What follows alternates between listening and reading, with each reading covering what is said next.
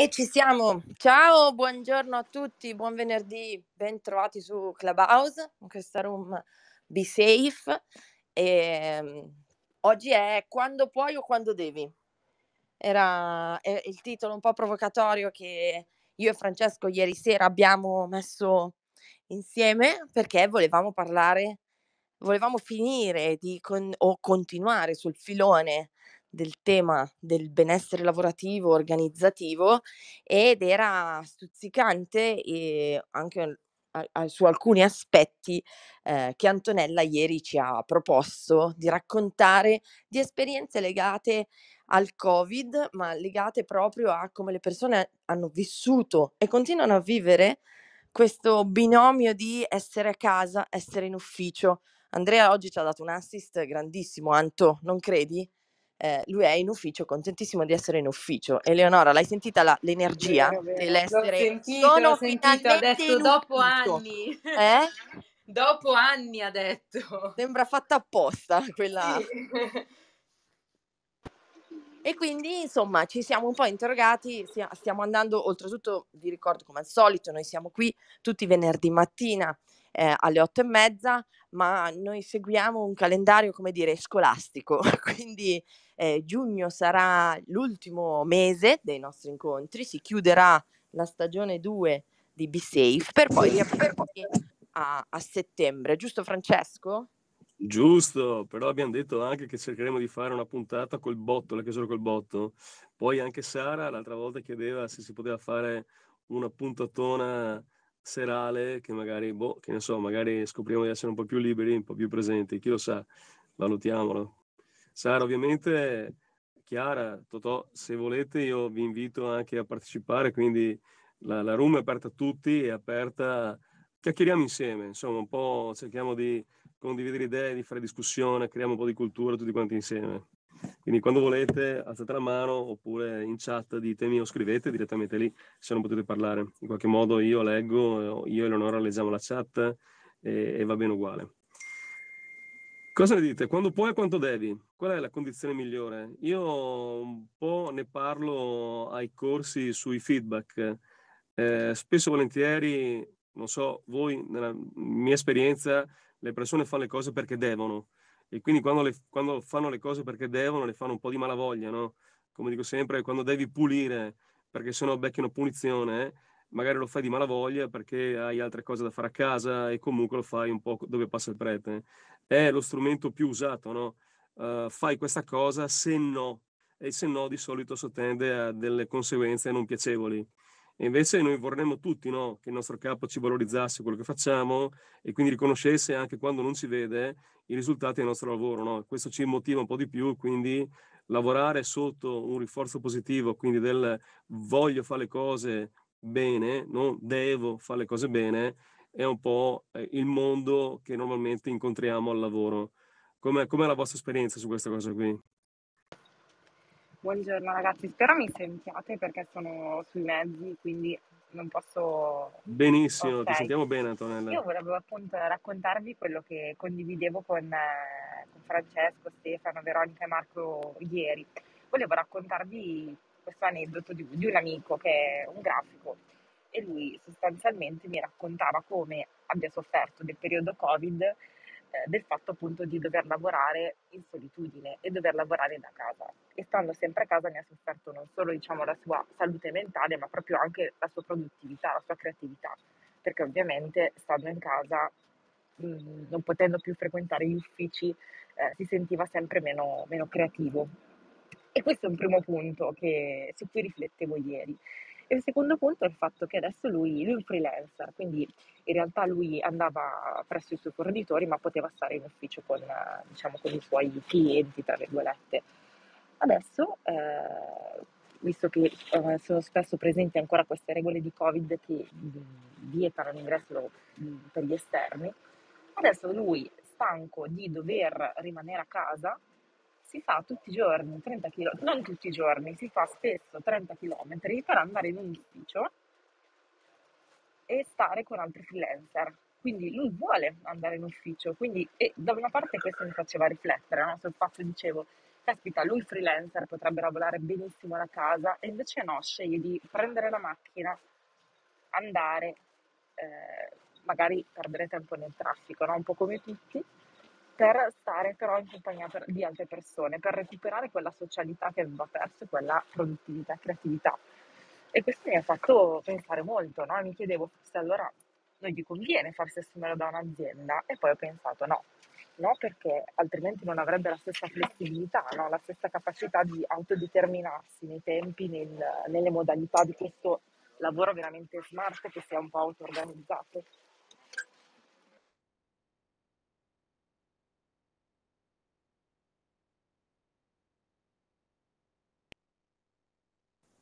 Abbiamo perso l'Antonella? Eh, probabilmente sì. Ma sì, diciamo che il punto di vista di Antonella è un po' anche quello che raccontava Giada la settimana scorsa. Alle volte l'eccesso da una parte e dall'altra no, non va bene, no? La, la, settimana scorsa Giada raccontava la sua esperienza di full remote e, e quindi diciamo uno, uno sogna un po' il fatto di dire magari sai lavorare vicino al mare, lavorare vicino alla montagna o più tempo libero per me, ma qual è di fondo lo svantaggio? Il fatto che non hai relazioni con i colleghi, il fatto che magari hanno una relazione piuttosto opportunistica col tuo lavoro, no? quindi se qualcuno ti offre di più, cambi. Il fatto che magari se sei giovane hai bisogno di un mentore, e il mentore come, come fa a, a, vederti se tu sei sempre a casa in azienda e non ci vai? Quindi un po' il full remote che per, per alcuni potenzialmente eh, è l'ideale, l'ideale equilibrio casa-lavoro, in realtà si manifesta come un estremo l'estremo opposto di stare a lavoro tutti i giorni, no? E quindi, quindi ci sta il tema della creatività, il tema del eh, cercare di essere presenti in ufficio, il fatto di trovare, secondo me, se l'ambiente, come diceva anche un po' Andrea, se l'ambiente è un ambiente di benessere, di persone positive, di stimoli, beh, insomma, è anche bello stare insieme in ufficio con i colleghi, no?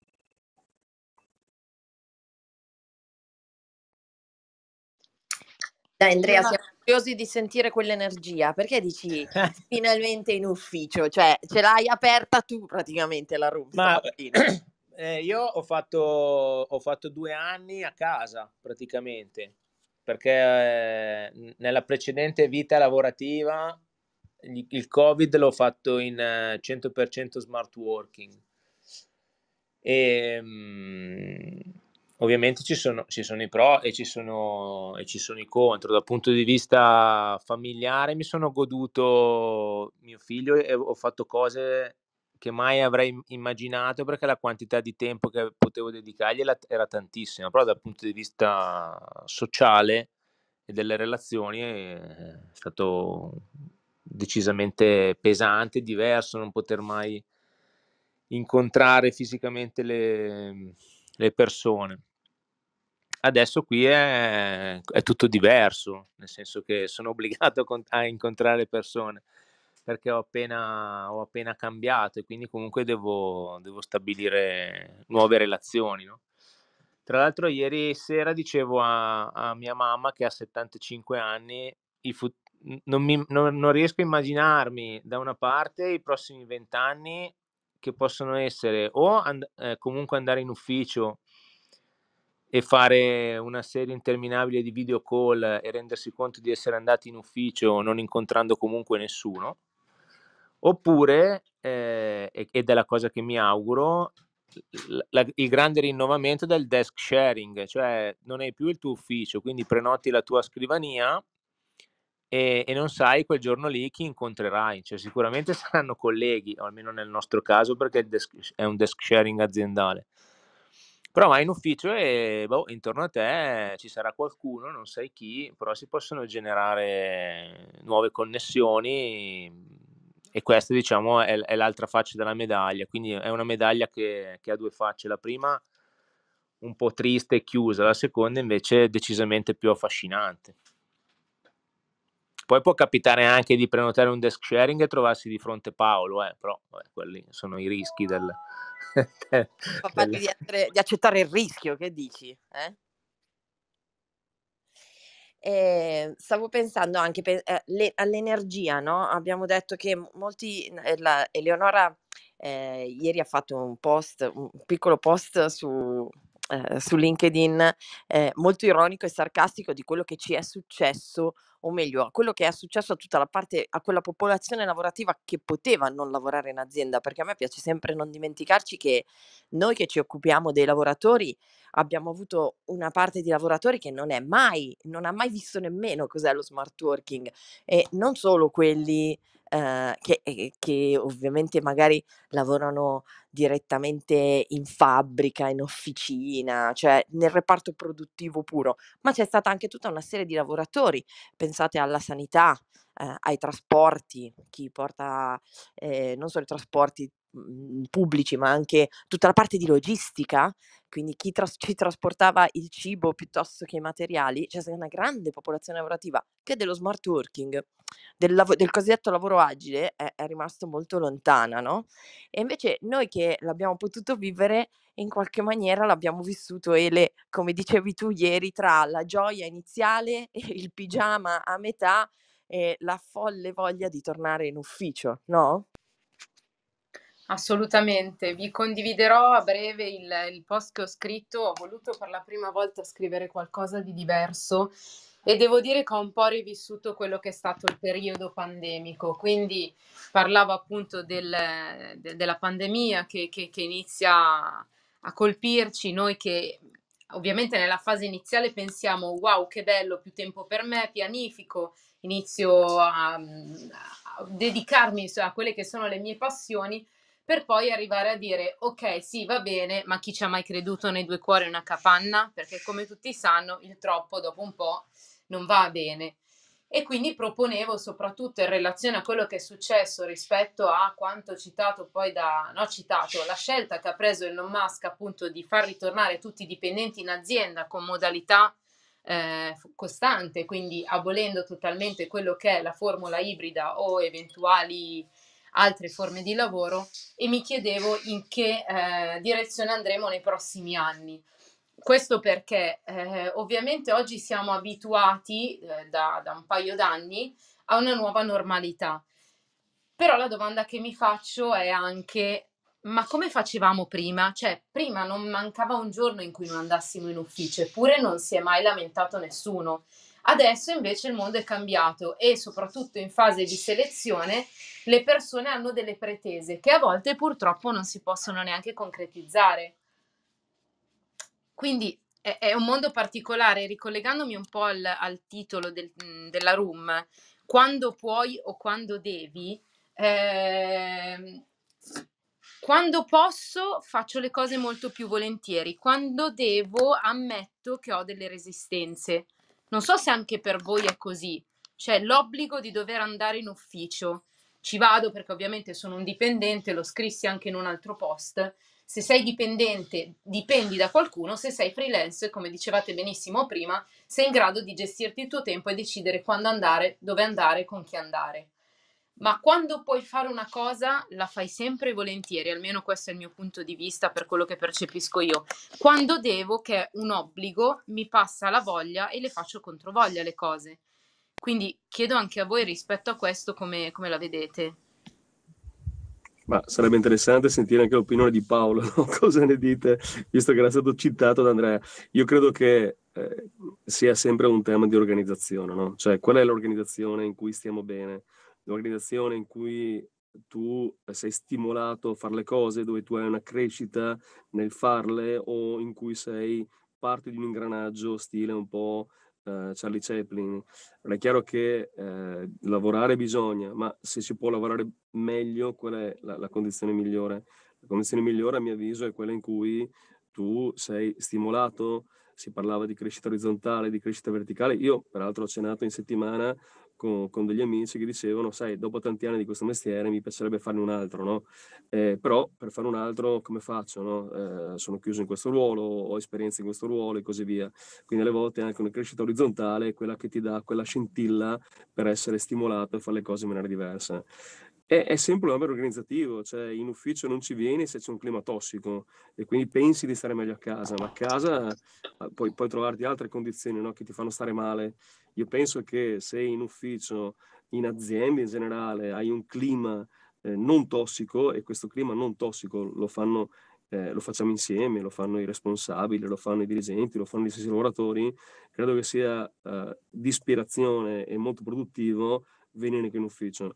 Secondo me il tema del posto del devo è a prescindere dall'ufficio del casa, il fatto che tu mh, sia stimolato perché qualcuno ti riconosce che stai facendo le cose fatte bene e quindi ti invita a farle meglio, oppure semplicemente tu ti senti parte di un ingranaggio in questo senso stritolato e quindi le, le, fai perché devi, perché devi portare a casa uno stipendio, perché diversamente ehm, non ti fanno stare bene e quindi devi fare queste cose. Questo, questo che credo eh, però possa avvenire sia a casa che, che al lavoro.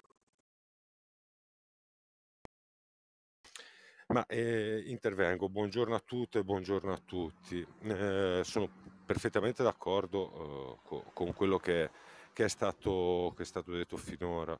Sono una persona che mi reputo di equilibrio, quindi eh, eh, l'integralismo da una parte o dall'altra secondo me eh, non giova. Eh, però mi sento di condividere con voi ecco, un punto di vista, non, non, so la vostra di percezione, perché poi rappresentiamo bene o male eh, uno spaccato italiano differente uno dagli altri, quindi lavoriamo in parti un po', un po tutti differenti.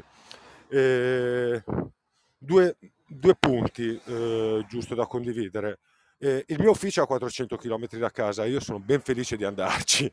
Eh, l'unica cosa è che è a 400 km da casa e, e quindi insomma un po' le, le difficoltà eh, familiari si fanno sentire, però eh, quello che mi dispiace è che è proprio a 400 km da casa perché ho sempre sognato di avere un ufficio con delle colleghe, con dei colleghi il più vicino possibile. L'ho trovata a Roma, ahimè, eh, però mi unisco al pensiero di Andrea che eh, io sono una di quelle persone che è molto felice quando va eh, in ufficio a lavorare, eh, proprio per il clima che, che si respira.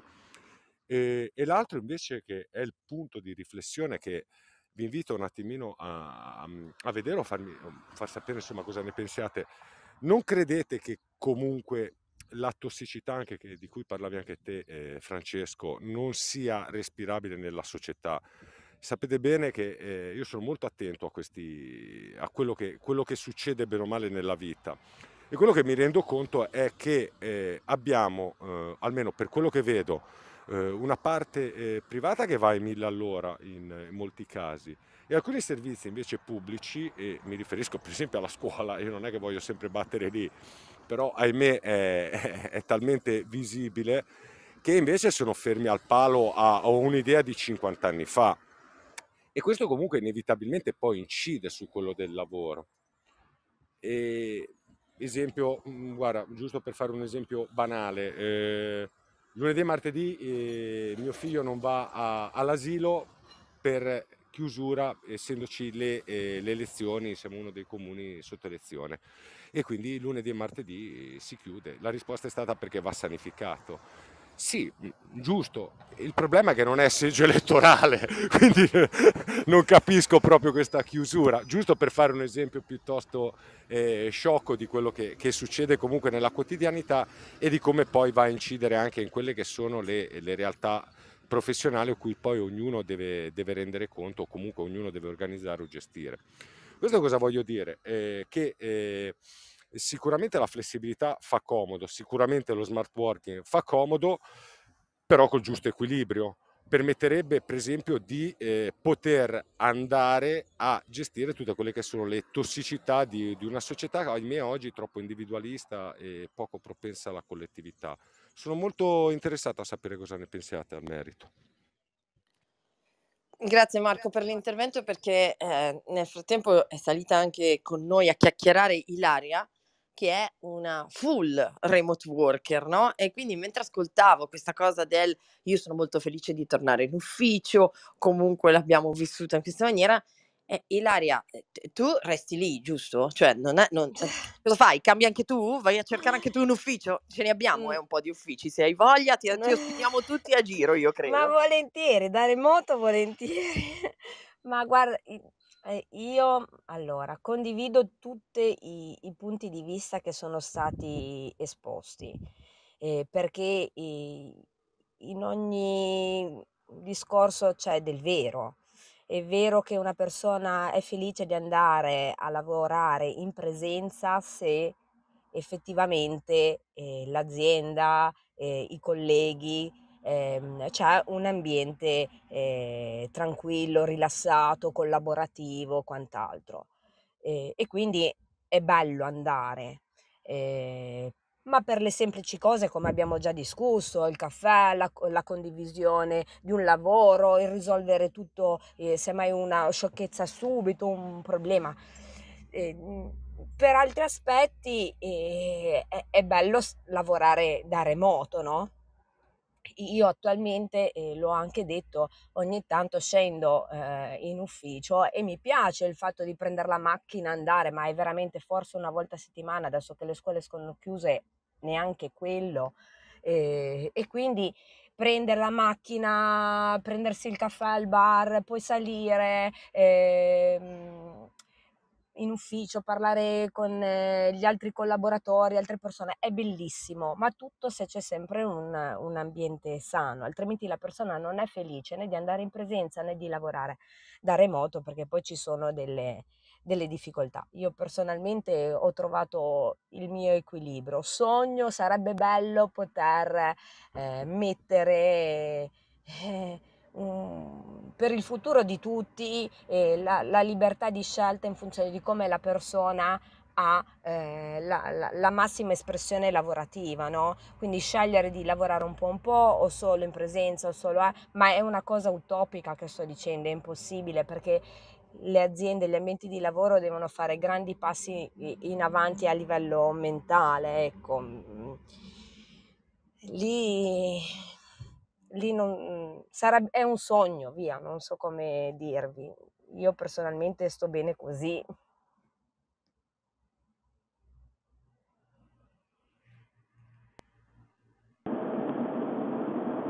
Mi sa che Mi avete sentito? Ah, pronto?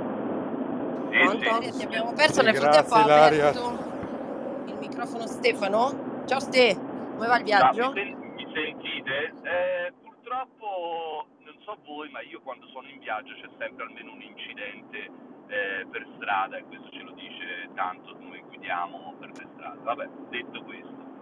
Eh, per stare in focus con eh, il titolo della puntata, io penso che il dovere sia uno dei più grandi catalizzatori della ribellione. Perché cosa succede? Quando c'è un dovere, se la persona è allineata a quel dovere, va da sé che lo segue la sicurezza sul lavoro lo, lo vediamo tutti i giorni, potrebbe essere anche in tutti gli altri settori, mentre il potere dà, dà, dà sfogo al libero arbitrio, no? perché te hai una possibilità e in, base alle scelte che fai decidi, come nel caso di Ilaria, se stare a casa o meno.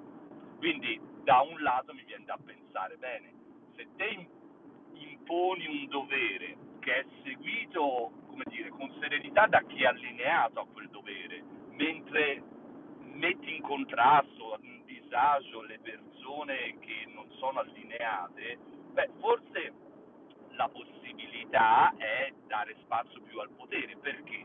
Perché le persone che erano allineate a quel dovere anche spontaneamente continueranno a rispettarlo.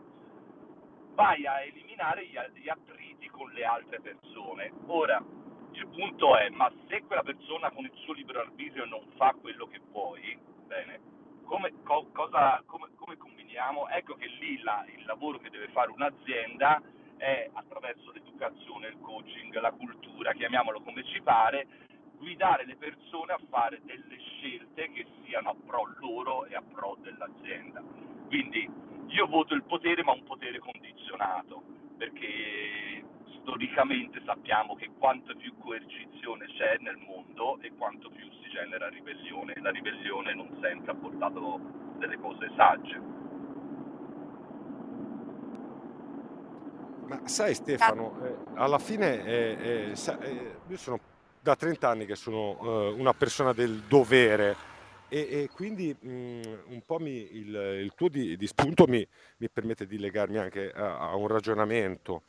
E, quando le cose si devono fare, ma perché si, ehm, si ha questo coinvolgimento e si sa che si devono fare per un bene collettivo, perché da quello che faccio io dipendono determinate cose e, e si ha questa consapevolezza, probabilmente eh, è un, eh, un, dovere più, eh, più facile. E, chi può è sicuramente, come l'esempio che ci ha portato Antonella, che secondo me è meravigliosa, una persona creativa che, eh, ha che, eh, che si fa 30 km, forse perché ha anche bisogno di condividere la sua creatività o perché magari in questo periodo non è creativo e quindi eh, stare in mezzo alle persone, che è la cosa più bella del mondo, e penso che eh, questo eh, sia quello, il più grosso insegnamento che ci lasciano i due anni di pandemia, eh, eh, forse ne ha bisogno proprio per, per ricominciare a sognare, immaginare e sentirsi ispirato. Però ecco, mh, mhmm, essere eh, una persona del dovere è bello. Grazie sai, Marco, eh, è bella questa riflessione perché eh, sapete che a me Francesco piace arrivare un po' spesso al concreto, no? Quindi eh, che cosa ci ha esatto, e a insegnato? proporre Cioè, qualcosa, qual è... no? Scusa, scusa Francesco? No, dicevo, e, e proporre sempre qualcosa che ci faccia stare bene, no? Che è un po' il nostro obiettivo di questa room, creare un po' di benessere, un po' di chiarezza, un po' di cultura. Sì, e la domanda che mi veniva in mente è: che cosa ci ha insegnato questa esperienza? Come la possiamo mettere a disposizione e a servizio di tutti? Perché anche qua, perdonatemi se torno lì, ma noi ci occupiamo di salute e sicurezza, di benessere delle persone, di, di, sostenibilità, cioè ci occupiamo a 360 gradi dei lavoratori in azienda, non solo di chi è smart working. Allo stesso tempo credo che lo smart working sia assolutamente un'esperienza che può insegnarci qualcosa anche per gli altri. Allora, se, se ci rifacciamo a, a, a, quello che ha detto anche Stefano, no? eh, quando è che funziona veramente? Quando le persone sono responsabilizzate, questo quando devo o quando posso.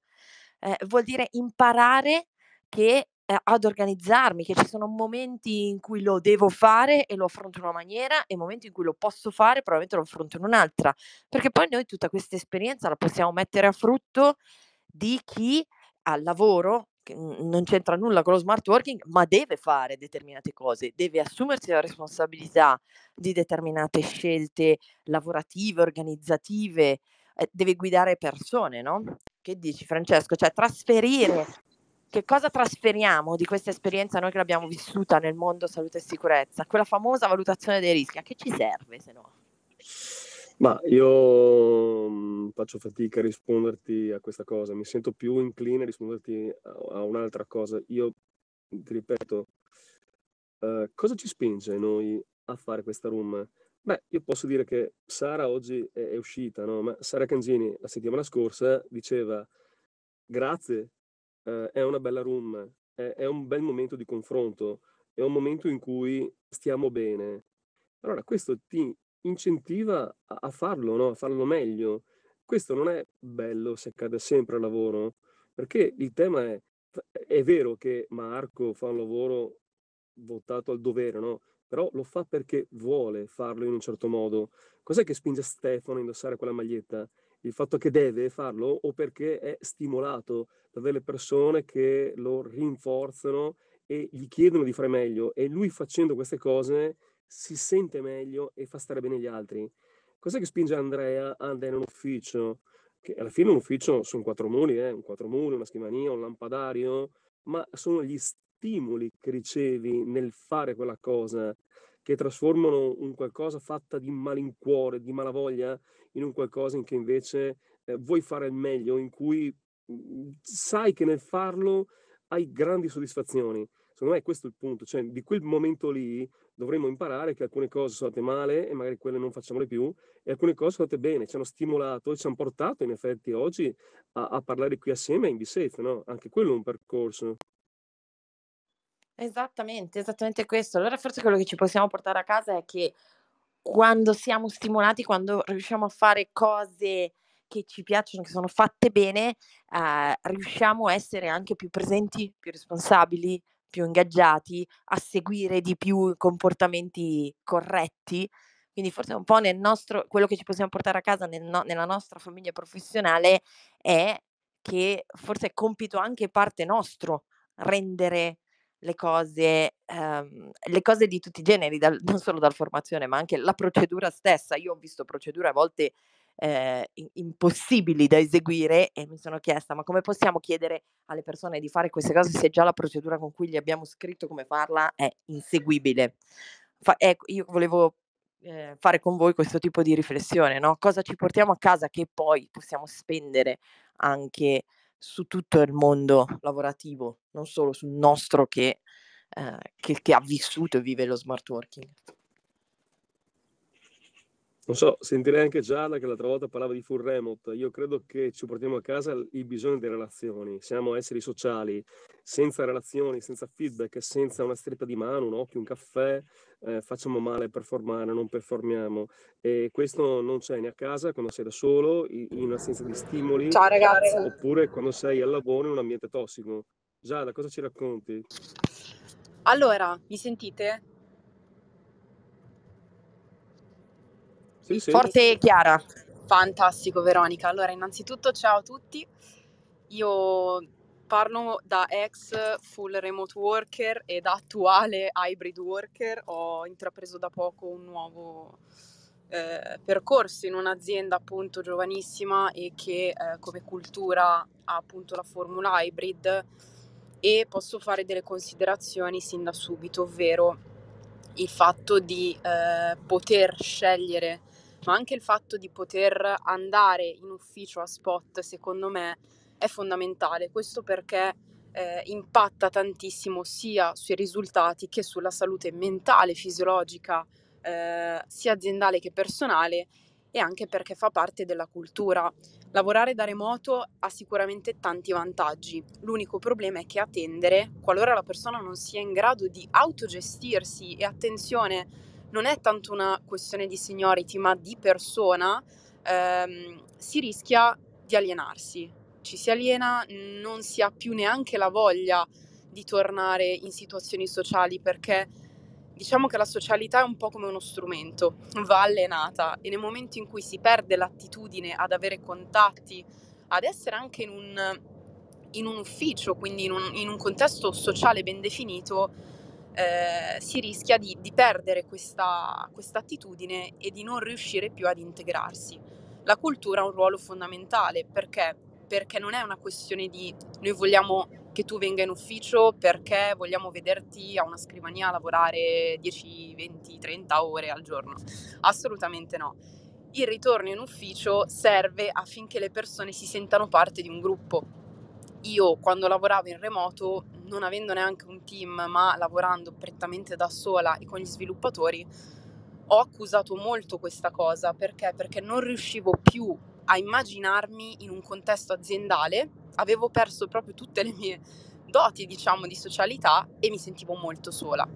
Anche dato dal fatto che, appunto, come dicevo prima, bisogna sviluppare questa attitudine a sapersi gestire, che vuol dire responsabilizzarsi, essere degli ottimi time manager per se stessi, per i colleghi, per l'azienda, tutta una serie di cose che fa sì che poi la cultura si solidifichi e si sedimenti e venga riconosciuta da tutti.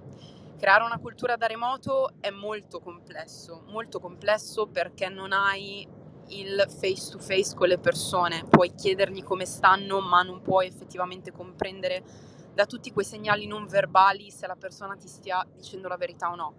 Inoltre, per concludere un po' il discorso e non rubarvi troppo tempo, io sono molto felice di essere tornata in ufficio perché ho riscoperto quel gusto della pausa caffè, di poter parlare di un problema con una persona e affrontarlo immediatamente. Anche il fatto di poter uscire di casa, respirare dell'aria, vedere qualcosa di, di nuovo ogni giorno, ma soprattutto di avere una routine diversificata che faccia sì che i miei comportamenti magari un po' più da procrastinatrice non vengano fuori nuovamente. Quindi secondo me la verità sta sempre nel mezzo e soprattutto in base a quelle che sono le esigenze della persona. Quindi va bene il fatto di poter scegliere, decidere, un po' meno il fatto di imporre perché poi lì la cultura viene percepita Andrea, come buongiorno.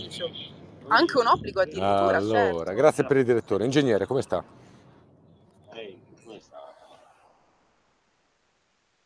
No, Giada, tranquilla, è partita una telefonata a Marco, microfono acceso.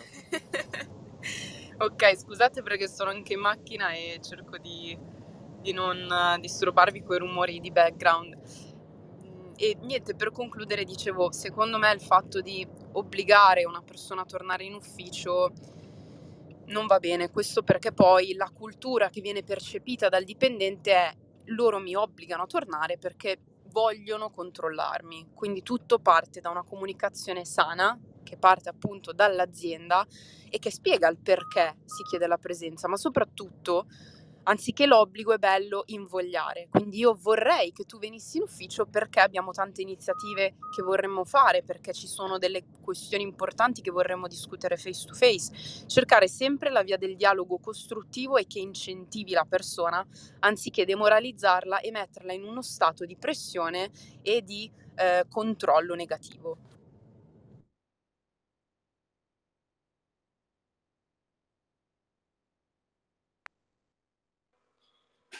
Pressione e stato di controllo negativo. Ehm, io mi sto sempre immaginando un po' tutti noi che lavoriamo, no, ehm, quante volte siamo sotto pressione quante volte ci dobbiamo sentire, ehm, controllati. Anche qui, e questo è un grande tema, no, poter, ehm, aver sviluppato Giada diceva: "Se dobbia abbiamo imparato o per forza devi imparare a gestirti il tempo, a l'organizzazione, la comunicazione." Sono tutte skill poi, sono tutte competenze che, ehm, non non usi solo ed esclusivamente perché sei uno smart working, no, cioè, ehm, Giada, non è che poi quando hai imparato a organizzarti, siccome l'hai l'hai fatto a distanza, non lo fai più in ufficio. Se hai imparato se hai assottigliato le tue doti comunicative per percepire meglio certi determinati segnali, perché sei a distanza, perché stai usando uno strumento che ti fa da filtro, non è che poi quando sei tornato al lavoro smetti improvvisamente di probabilmente quello che ci portiamo a casa da questi anni è che, ehm, il lavorare in posti stimolanti, in cui siamo invitati ad esserci, e e a partecipare e non ci siamo per dovere, in il il fatto di aver aff affinato determinate competenze che hanno reso migliore il nostro lavoro, questo io credo poi lo metteremo nel futuro, no, a a fattor comune. Con Eleonora, con con Francesco ieri si scherzava dicendo: "Ma quala sa quale sarà quindi questa prospettiva del 2023, di questo lavoro che non si capisce se faremo a distanza, in presenza, chi potrà, chi non potrà?" Allora forse quello che dobbiamo raccontarci è che ehm, guardando al futuro dobbiamo tenere preziose queste cose che abbiamo imparato, perché faranno di noi migliori leader sul luogo di lavoro, faranno di noi migliori colleghi, mhmm, pe mi persone che hanno una migliore capacità di mettere al sicuro le altre persone. Il tema della sicurezza a 360 gradi ovviamente, eh, al sicuro psicologicamente, al sicuro fisicamente, al sicuro moralmente. Che ne che ne pensate? Cos'altro ci possiamo portare a casa? E poi direi che andiamo verso la chiusura, eh. non so se mi sentite Veronica. Ti sentiamo, ti sentiamo Ele. Perfetto, scusatemi ma sono in auto anch'io insieme a accanto a Giada proprio. Quindi eh, quello che volevo dire io è che sicuramente queste room hanno in questo percorso aiutato tanti di noi a comprendere certe dinamiche. Però ovviamente io faccio anche un po' l'avvocato del diavolo, no? mi metto anche dal lato, nonostante il mio post che ho appena condiviso nel- nella chat, mi metto anche un po' dal lato del, ehm, del- dell'imprenditore. Sentendo Giada che diceva bisogna lasciare liberi di scegliere, no? Io lo dico sempre, lasciamo liberi di scegliere, mettiamo una minima di presenza in azienda, almeno le persone riescano a frequentare l'ufficio, però una domanda che mi faccio, era un po' la domanda del mio post, cosa sarà del 2023 barra 2022 e eh, anni che verranno? Perché effettivamente noi adesso parliamo di scelta, però eh, è fondamentale secondo me porre l'accento sulla dipendenza e la consulenza. Cioè il dipendente non è che può tanto scegliere, perché se il datore di lavoro sceglie di lasciarti a casa perché ci sono certe regole, purtroppo quello che allora dobbiamo fare oggi è educare le aziende, educare i manager o comunque chi eh, ha il, potere decisionale di, di, di fare a una nuova normalità, educarli a una nuova normalità, perché guardate Elon Musk, la mia è stata una provocazione, tutto bellissimo, l'azienda della vita, oggi gli è girato da domani tutti in ufficio, o se non vi sta bene ve ne andate. Eh sì, grazie. Eh, cioè, è, è una riflessione importante questa. Anche in chat eh, Stefania proprio diceva eh, i manager non sono pronti, ma non solo i manager, anche i contratti di lavoro ancora non sono pronti. Bisognerà, ci sarà la necessità, si sta discutendo di un nuovo design proprio eh, lavorativo, no? E, e, e, c'era anche qualcuno che aggiungeva che bisogna mutuare nel mondo del lavoro quello che oggi succede anche in altri ambiti. È, è, è, lì che manca in questo momento forse un po' di cultura, no Eleonora? Cioè, se noi stiamo raccontandoci della libertà, poi però tu sei imbrigliato in un contratto di lavoro che di libertà te ne dà poca. Ragazzi, uso il mio perché quello di Eleonora non funge. Non so come mai il mio telefono non sta più reagendo. È proprio quello il concetto, Veronica, cioè lì che dobbiamo spingere, dobbiamo capire in che direzione vogliamo andare, perché giustamente da dipendente io un paio di mesi fa ho avuto una discussione su LinkedIn dove c'erano persone che dicevano lasciate liberi i dipendenti, ma dipendenza vuol dire dipendere da qualcuno, vuol dire che tu lavori per qualcuno che ti paga lo stipendio. Di conseguenza, cioè, che scelta possiamo avere?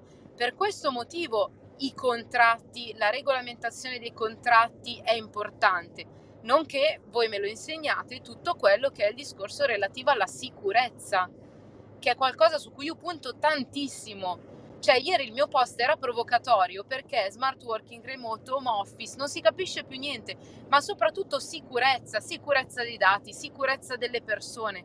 Un datore di lavoro che non mette nero su bianco quella che è la politica aziendale interna rischia e poi il dipendente pretende. Quindi, ovviamente, da dipendente mi metto anche dal lato di un imprenditore nel dire devo tutelare me stesso. Cioè, la 231 non esiste a caso, quindi bisogna stare attenti anche a queste cose. I corsi sulla sicurezza non vengono fatti per far perdere tempo alle aziende, ma bisogna conoscere quello che è il regolamento.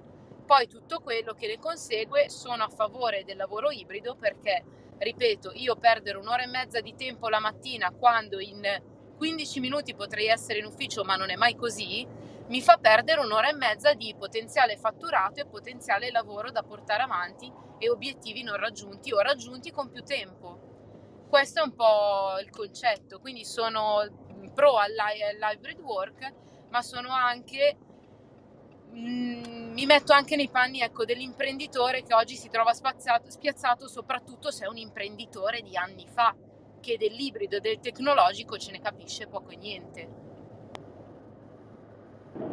Sta partendo Francesco una room interessantissima. Stefano, Stefano, vai.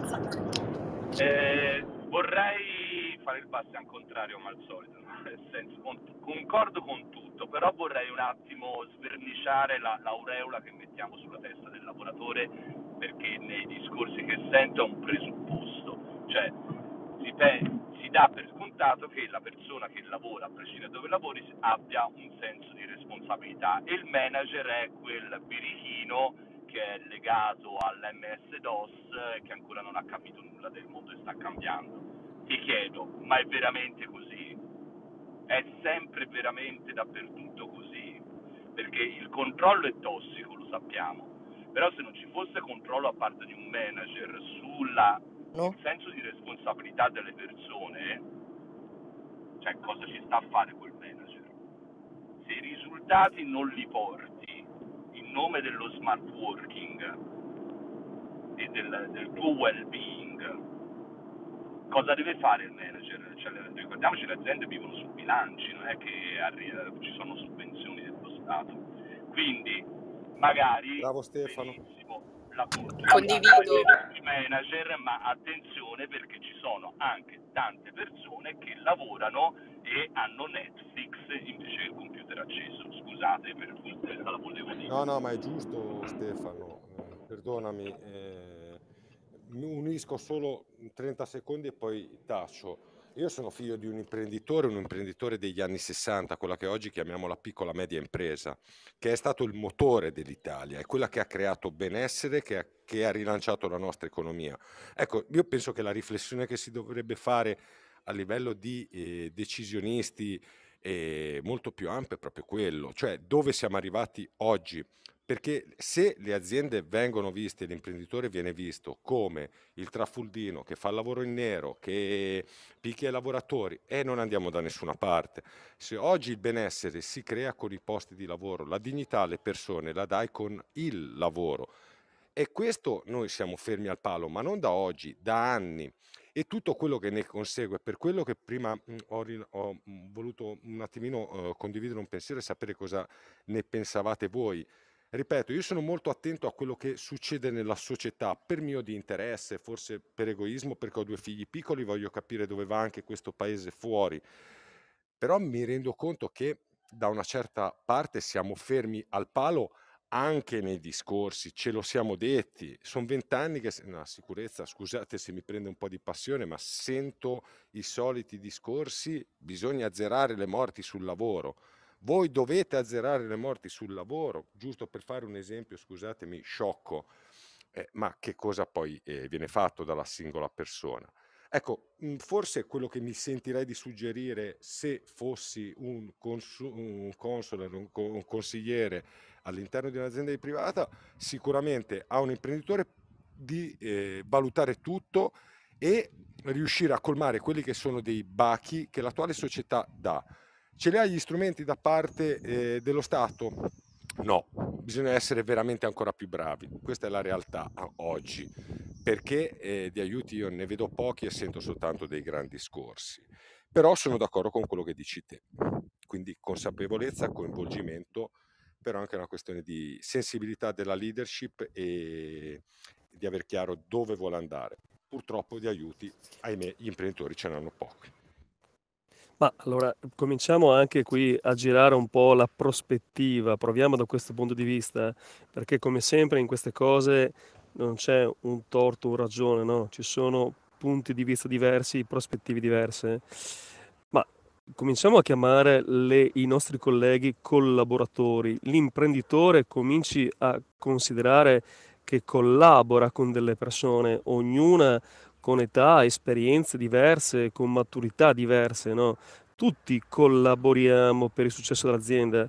Se invece c'è una struttura di gerarchia eh, dove di fatto ognuno di noi viene visto come un meccanismo, è chiaro che ciascuno di noi a questo punto in assenza di motivazione e di visione complessiva fa quello che deve, non quello che può fare al meglio. No? Allora, ciascuno di noi credo che debba si senta bene se sente che fa parte di un progetto, di una visione in cui ciascuno di noi o appunto per età o competenze, esperienza, collabora al successo dell'impresa. Allora, se questo è il punto di vista, ci sta tutto, il manager che è anche un po' mentore, no? E qui vedo che è uscito anche eh, Giuseppe La Regina, no? Che ha questo bellissimo chat di giovani senza capo. Giovani senza capo o senza mentori? Allora, cominciamo anche qui a ragionare insieme. Se tutti quanti noi sapessimo di far parte di una visione complessiva e sapessimo che il nostro contributo ci aiuta a raggiungere il successo dell'impresa, di cui ognuno di noi peraltro prenderà dei meriti, allora le cose stanno diverse. L'ambiente diventa tossico quando uno si prende i meriti del lavoro degli altri, ad esempio. E quindi quando invece c'è un, una chiara relazione di eh, una chiara relazione dove il capo non è capo ma mentore, dove l'imprenditore sa che per fare impresa ha bisogno di competenze che lui non ha, e qui mi rallaccio a quello che dicevamo l'altra volta, il capo deve sapere proprio tutto, e allora in questo caso se ognuno di noi sa di essere parte di un meccanismo, eh, magari ecco, quel lavoro là lo fa un po' più volentieri. Quindi cominciamo a ragionare su questo. Noi siamo lavoratori o collaboratori? Condivido in toto e soprattutto sono anche estremamente convinta del fatto che le parole abbiano un peso e soprattutto impattino sia positivamente che negativamente su un'organizzazione. Il fatto di dare il titolo di collaboratore a quello che oggi è definito dipendente lo responsabilizza ulteriormente perché si sente parte del traguardo aziendale, si sente parte dei risultati e soprattutto si sente in una certa misura anche ris- responsabile del buon esito, della buona riuscita di tutti i progetti in essere. Quindi dovremmo iniziare ad utilizzare i termini corretti in un mondo dove ormai gli inglesismi stanno prendendo il sopravvento e questa la lancio provocatoria perché è un po' nel mio stile, LinkedIn dà a tutti la possibilità di essere supereroi in un mondo di persone normali. Il problema è che talvolta utilizziamo titoli altisonanti ma non siamo veramente in grado di comprendere la dietrologia di quel termine, non siamo in grado di comprendere il significato, il, i macro significati che racchiude quella job title. Quindi quando dico che bisogna anche educare i manager è perché mi è capitato di vedere tanti manager che di manager avevano solo il titolo, si appropriavano dei meriti del team, come appunto dicevamo poco fa, quindi l'hai fatto tu, però sono stato io perché sono il manager, però poi quando ci sono i casini da risolvere, ah no, è colpa tua e non del manager. Insomma, bisogna fare anche sotto questo punto di vista un po' di chiarezza ed essere in grado di usare i termini giusti e di ingaggiare le persone affinché il lavoro possa nobilitarli, dargli dignità e dargli quel boost di, ehm, di, di autostima, di confidenza, di, di voglia, di passione che veramente porta un'azienda verso il successo.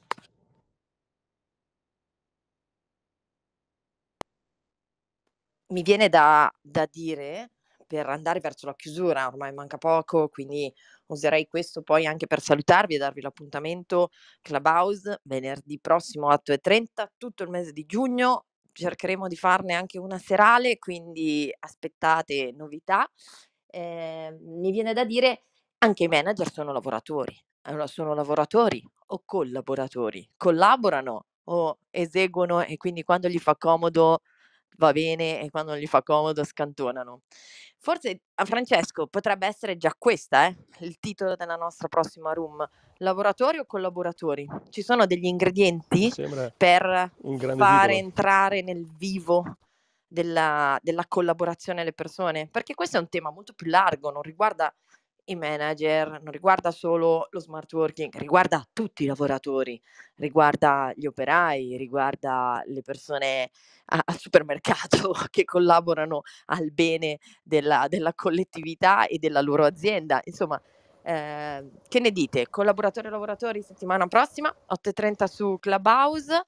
Eh, vi lanciamo il quesito e io in questo momento vi saluto anche, ne approfitto per ringraziare tutti, è sempre molto prezioso essere qua insieme. Vi, vi ringrazio, visto che qualcuno al room diceva eh, che belle queste room, eh, sarebbe bello estenderle. Potete farci pubblicità, potete raccontarlo, potete condividere su LinkedIn e sulla pagina di Rock and Safe eh, il link per riascoltare anche queste puntate e con questo io vi saluto e vi auguro una buonissima settimana. Alla prossima. Lavoratori o collaboratori? Qual è, qual è l'ingrediente segreto?